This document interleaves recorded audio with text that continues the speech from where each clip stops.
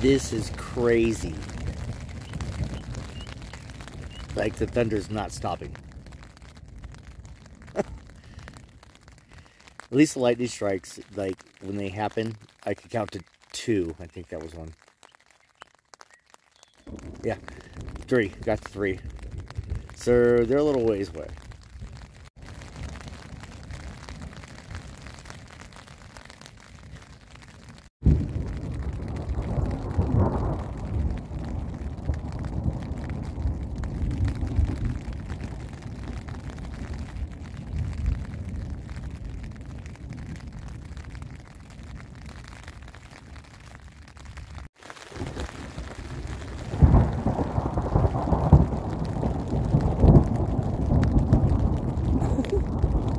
Still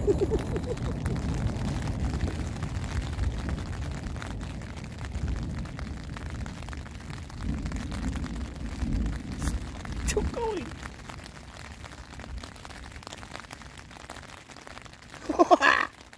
that was cool. Okay, here's the situation. Major rain, hail, storm. Right now, I gotta try to keep batting off. Down there. Oh, Jesus. Oh, shit. Uh, I think I gotta check my guy lines. Gonna get on my right. Oh, shit. Oh, so I can show you everything. Here's everything. It's getting a little serious.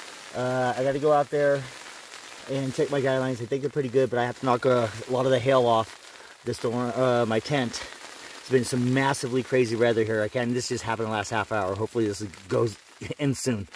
Okay, and uh hailstorms is really weird. Knocking off the snow and hail off my tent. It's clear over there. What's going on?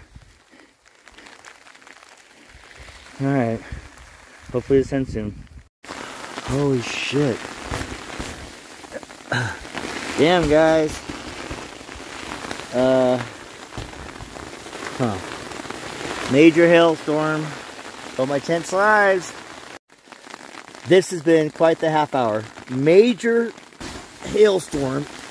You can see the snow out there, or the hail piling up, be going on, and I have been picking. All right, situation is a little scary.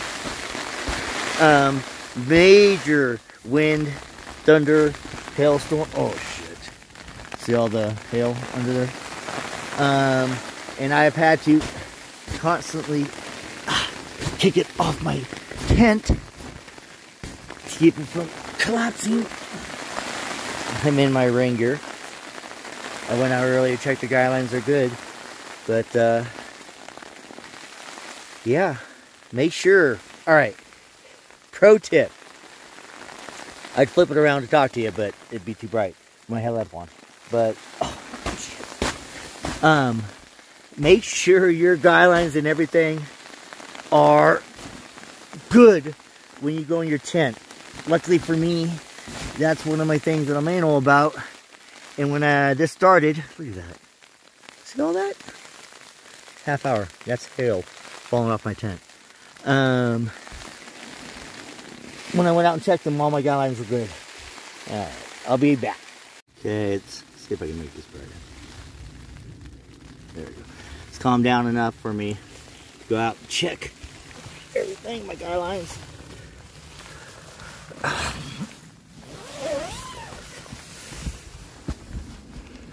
Ooh, that was a doozy, guys. Alright. Oh, shit. Get away, get away, get away. That was gonna be fun to get out in the morning. Oops.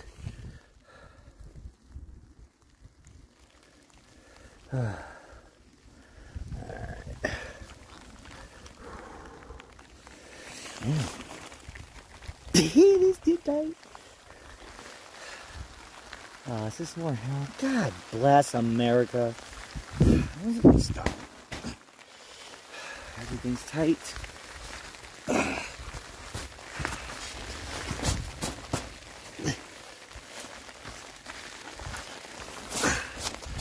All right, everybody. So, guidelines are good. We got the guy line going in the tree, keeping him up. Alright. Woo! Think I'm okay, because it's about to stop, I hope. According to the ra radar, my brother said. So, what a crazy half hour, my God. Alright.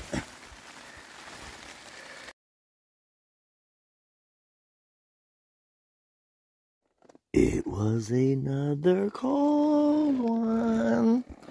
It's snowing in my tent. my tent is frozen inside and out. This is gonna be cold. 5.30 in the morning.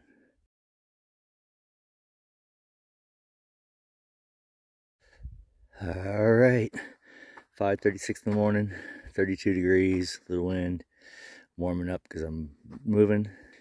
Here's my campsite. I talked shit about my tent, but it saved me. I think it literally might have saved my life last night. Um, just had to set out properly and it withstood the wind and the hail. I'll stop talking talking shit about it. But still a ton of condensation. Frozen in the morning.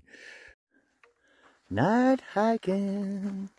Early morning hiking is not night hiking, Rob. Ah, it is so cold that my friends who know me will be shocked to hear this.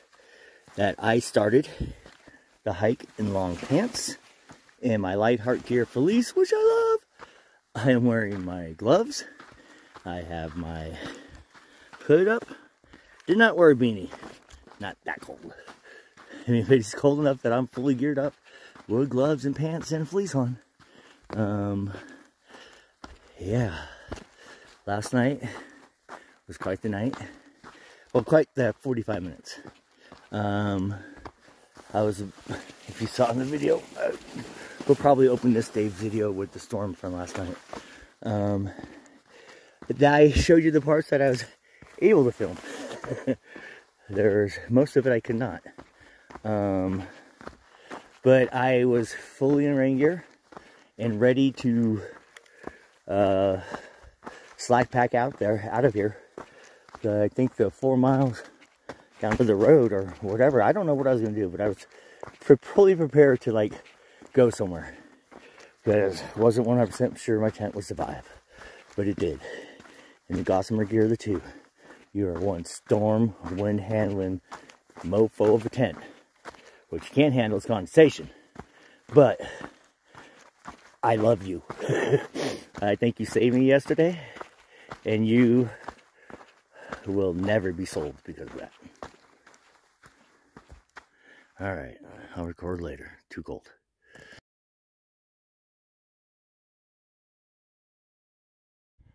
Lights trickling in density. I'm pretty sure that's Palm Springs. First time I've seen lights though. In the whole trip. Well, I was able to wear my fleece for uh, an hour. now back to this. Got hot. Got a feeling I'd be there's gonna be an explosion of sunlight right up here. We'll see it together. And I never told you my plan for today. Plan for today, one of the reasons why I'm up so early, is I'm trying to make it to Paradise Valley Cafe before 3 o'clock, before they close. That was 18.8 18 miles start of the day. I have three miles in. 15 more miles to go. It's 7 o'clock. Be nice if I get there right around lunch. And then uh, I'll probably pitch my tent around there. Um, and then come back for breakfast the next morning. Uh, sooner or later, though, I'm definitely have to take my tent out, dry it. So heavy on the backpack. I didn't put it in my backpack. So I'm on top with a Y strap that comes with the Superior Wilderness Designs rugged long haul 50. Prince the Purple Mile Eater goes by the pronouns of hers, herself, and her. Got those backwards. All right. Beautiful morning. Great weather to hike. I took off my fleece, hiking just my shirt. Gloves are still on though. Remember, hands get cold. But what a beautiful day. Okay, I'm at the Tool Spring or Tule Spring, T-U-L-E however you want to pronounce it, spring. Um, there's a water tank. It's got a hose coming out of it. Don't know why. I don't know if you're supposed to siphon it out, but it's frozen. The hose, every all the water in the hose is frozen. So down here though, I was like looking around, how else do you get water? And I saw this, which leads you to this very steep climb down to the actual spring. Um, and I know this is really, really clean water with the uh, algae that was growing around it. And uh, so filled up a liter and a half and my 750. So I got about two liters of water to get me the rest of the way, I think. Um, but yeah, it's just this is very confusing. And I was even on Guthook. Gut Hook. Somebody left said there's a spigot below the cistern. What the hell does that mean? I, what the, what does that mean? so there is no spigot that I can find. Just saw the hose coming out of the tank. Don't even know if there's water in the tank, but just go down there. That's where the water's at. Okay, here's the sign for the Tule Spring. Uh, what I would do if you're with two or three people is I would leave your packs here. Well, send one person down and have the other people watch the packs. And because that is a quarter mile downhill. And it's, eh, the, the road's kind of steep, but at the end it gets really steep, steeper. And then it's steep to go down to the water. If I was with somebody else, I would have left my backpack right there and gone down. Uh, there's a great campsite. You're a little exposed. See it right there? Um, and you'll have access to water all night. Yeah, coming up on that concrete tank, water tank, that no one drinks from. Unless you're coming here in late May, maybe. Because it's absolutely freaking disgusting. I'm sure animals have fallen in here. And gross. All right. No more filming until I get my 10 before 10. I'll let you know when it happens. Miles up, so. Yeah, uh, up to about, I'm want to do 18 a day. And, uh, uh, yeah, so 18, probably start 20 after San Jacinto. We'll see. Uh, here we, oh, shoot, I am recording. All right, at mile 145 at the little library. Let me turn around, make it easy.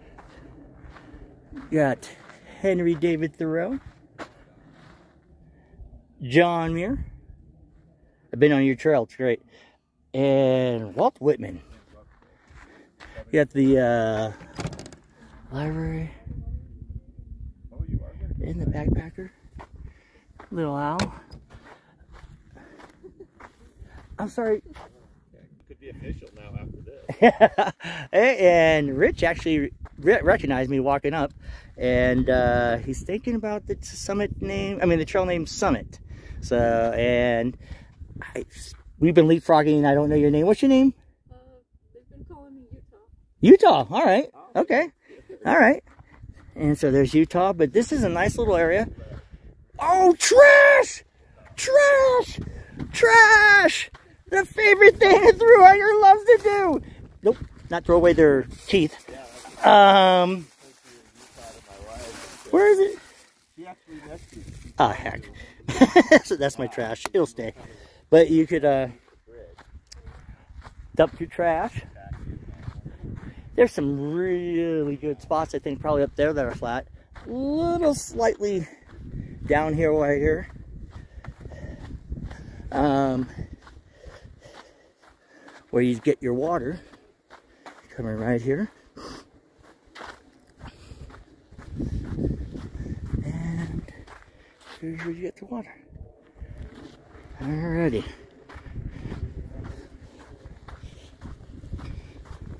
A couple other hikers.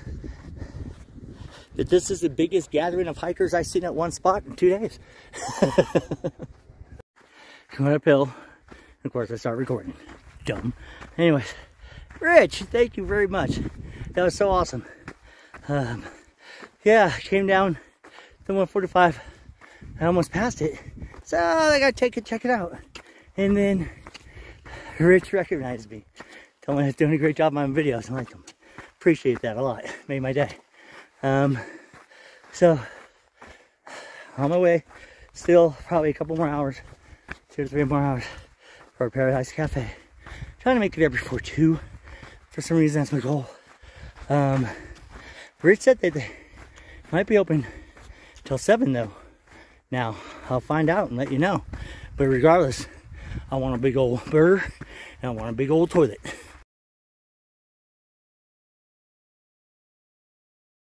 So there's San Jacinto Mountain. Big decision whether I'm going to go up.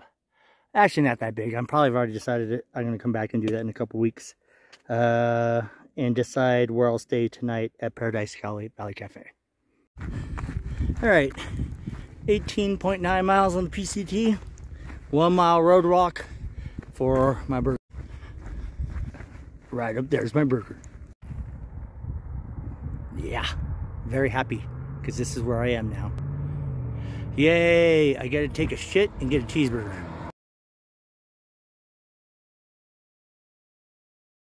I wanted to make it here by 2. It's 2.01. Uh, that's 19.9 miles. Uh, 6 a.m. to 2. Not bad. Didn't know I was to react. But you are so beautiful to me.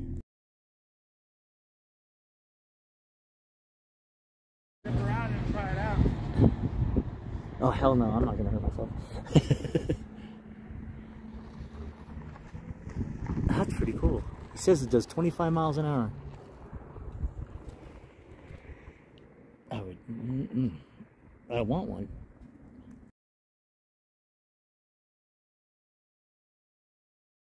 Okay, I'm gonna get this video up. Um, looks like me, my new hiking partner, and it looks like we'll be together for a while because uh, we now we're gonna. Her name's Utah. Uh, her trail name. I don't know her real name. Uh, you saw her earlier in the video. Um, we'll be here for a couple days um, in Idyllwild, and then skip ahead to mile 206.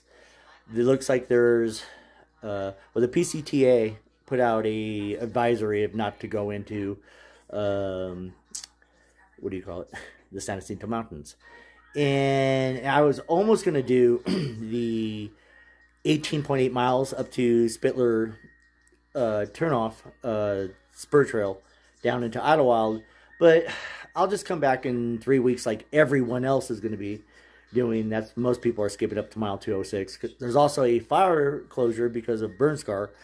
Um, so basically, most people I know are skipping into mile 206, and we'll start there again on Friday or Saturday. Uh, sucks being off the trail. Once you get your legs, I hate being off the trail um, for that long. Zero's fine, but uh, so we have a zero tomorrow. That's right, we have a zero tomorrow. Um, pick going to the mail, uh, pick up my package, which is cool, and then uh, Utah and I will talk about how we're going to get up to mile 206. Again, thanks for watching. It's been a blast. Um, I oh, I'm obviously really bougie tonight. I have a nice room with a kitchen and stuff. Gonna go get some food tomorrow and cook. And uh, yeah, um, so I'll probably be posting again in well, I'll give a, a little tour of Idyllwild, Idyllwild, show you where uh, everything is, or try to find it, and then show you where everything is. And uh, so I'll probably post that tomorrow. All right. Oh, and what I'm going to get at the post office. I'll post that tomorrow too.